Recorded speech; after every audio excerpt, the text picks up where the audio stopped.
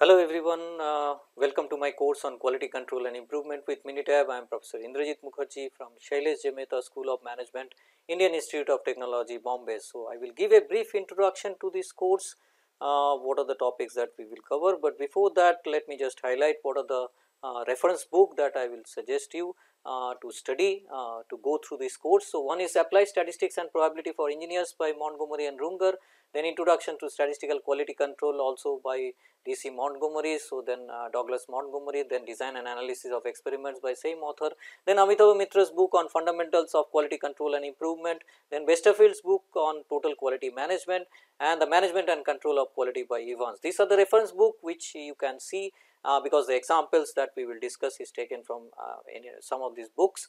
Okay. So, uh, what are the topics that we will cover? We will cover in quality. So, uh, the key topic that we will cover uh, is quality of design and quality of conformance. So, within that we will try to restrict our discussion on quality of design and quality of conformance. Within quality of design, what are the key topics that we will discuss is basically we will try to understand voice of the customer, how the voice of the customer are identified, uh, and then Kano model which helps to identify critical voice of the customer that is which is prioritize the voice of the customer.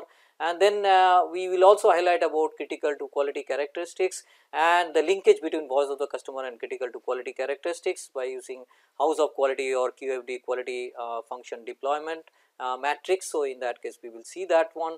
Then uh, we will talk about also uh, failure mode and effect analysis in design uh, and which can be implemented also in process. So, uh, this is uh, one important aspects with example we will try to discuss. And then we will move forward main part of the course that is what is uh, quality of conformance. And uh, quality of conformance means whenever it is uh, design is freezed and in that case it comes to production. And we have to ensure that um, whatever is the key design parameters are uh, within the specified limits uh, that is that is defined by the designer. So, in that case uh, we want to ensure the uh, quality aspects of that which is coming out of the process basically and deliver to the end user. Okay.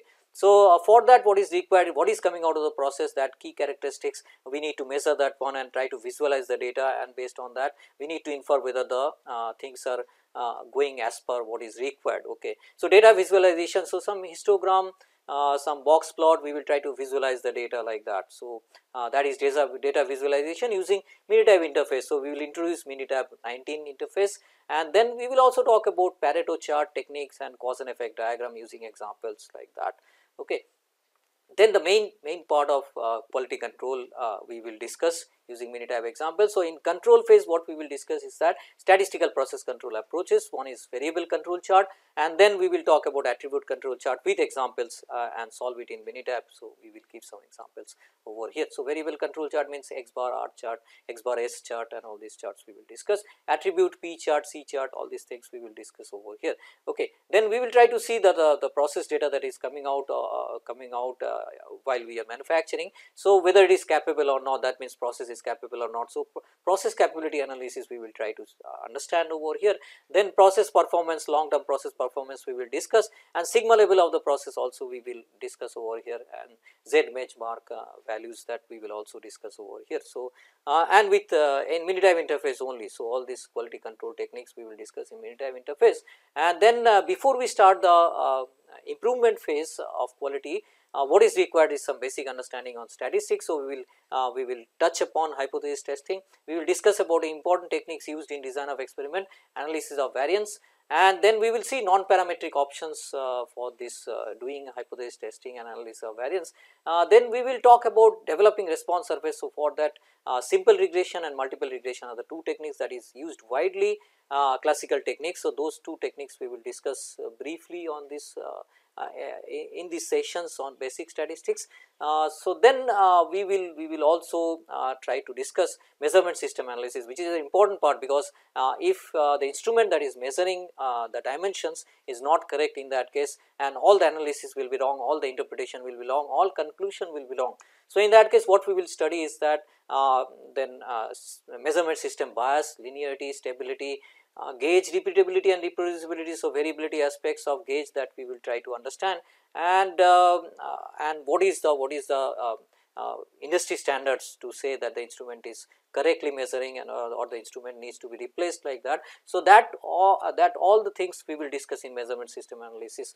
Then we will go to uh, improvement phase that is a, a, most important phase which is uh, uh, improvement quality improvement phase and we will talk about design analysis of experiments that is systematic experimentation and or statistical experimentation basically we will discuss over here.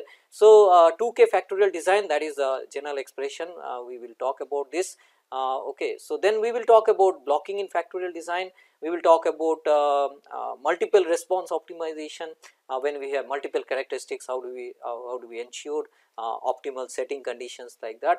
Then we will also briefly cover response surface methodology and what what what is the methodology all about. So, then uh, we will talk about screening experimentation that is fractional factorial uh, design which is an important aspects. We need to reduce the number of variables for for uh, uh, doing this uh, uh, final global optimal solution to find the global optimal solution we do we do not need to see all variables and try to do experimentation it will be huge experimentation. So, we try to screen the number of variables for that fractional factorial design is one of the techniques that is used and then we also use Taguchi's method of experimentation. So, Taguchi's method uh, which can drastically reduce the number of experiment experiments that you do uh, actually uh, so, uh, based on certain assumptions over there. So, we will discuss about Taguchi's method and all these things using Minitab uh, 19 interface and examples from the books. So, we will cover all of this.